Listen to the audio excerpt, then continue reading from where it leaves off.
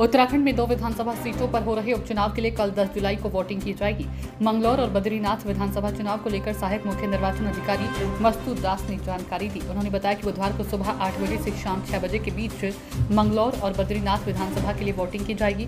बद्रीनाथ में एक सौ सतहत्तर पोलिंग पार्टी रवाना की जा चुकी है, जिनमें अधिकतर पोलिंग बूथ तक पहुँच गई है। मंगलौर विधानसभा के लिए एक सौ बत्तीस पोलिंग पार्टियाँ रवाना की गई है, जो सभी अपने पोलिंग बूथ पर पहुँच गई है। उन्होंने बताया कि सीविजिल ऐप पर छह कंप्लेन रजिस्टर की गई थी, जिनमें से छह सौ तेईस का निस्तारण किया जा चुका है। बयालीस कर्मचारियों और सुरक्षा बलों के कंधों पर शांतिपूर्ण मतदान करने की ज़िम्मेदारी होगी। इसके साथ ही उपचुनाव के दौरान एक गाड़ियाँ इस्तेमाल की जाएगी, जिनमें से अस्सी गाड़ियाँ मंगलौर के लिए इस्तेमाल की जाएँगी, जबकि शेष छप्पन गाड़ियाँ बद्रीनाथ में इस्तेमाल की जाएगी। अब तक पंद्रह लाख पिचानवे हज़ार कैश की बरामदगी की गई है, जबकि सोलह लाख सत्तावन हज़ार से ज़्यादा की मादक पदार्थ जब्त की गई हैं।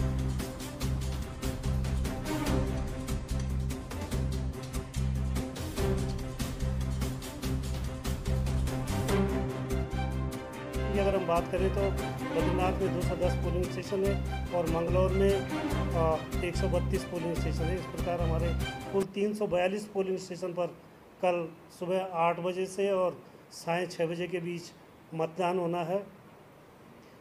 आ, आज हमारी सभी पोलिंग पार्टियाँ मूव कर चुकी हैं। सत्रह पोलिंग पार्टियाँ कल जो बद्रीनाथ की दूरस्थ पोलिंग पार्टियाँ थी वो कल मूव कर चुकी थी और रिमेनिंग आज थी। और मंगलौर की 132 पोलिंग पार्टियाँ आज ही मूव करनी थी, जिसमें से बद्रीनाथ की 177 पोलिंग पार्टियाँ हमारी ऑलरेडी अपने पोलिंग स्टेशन पे पहुँच गई है रिमेनिंग ऑन द वे है। और मंगलौर की जो 132 पोलिंग पार्टियाँ वो सब की सब अपने अपने पोलिंग स्टेशन पे पहुँच चुकी है।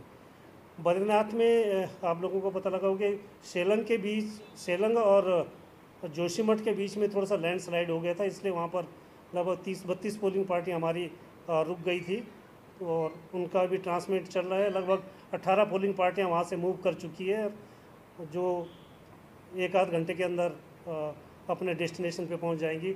दूसरी साइड में रिज़र्व व्हीकल की सफिशेंट व्यवस्था वहाँ पर रखी गई है ताकि अगर पोलिंग पार्टियों के ट्रांसमिट की नौबत आए तो उनका प्रयोग हो सके।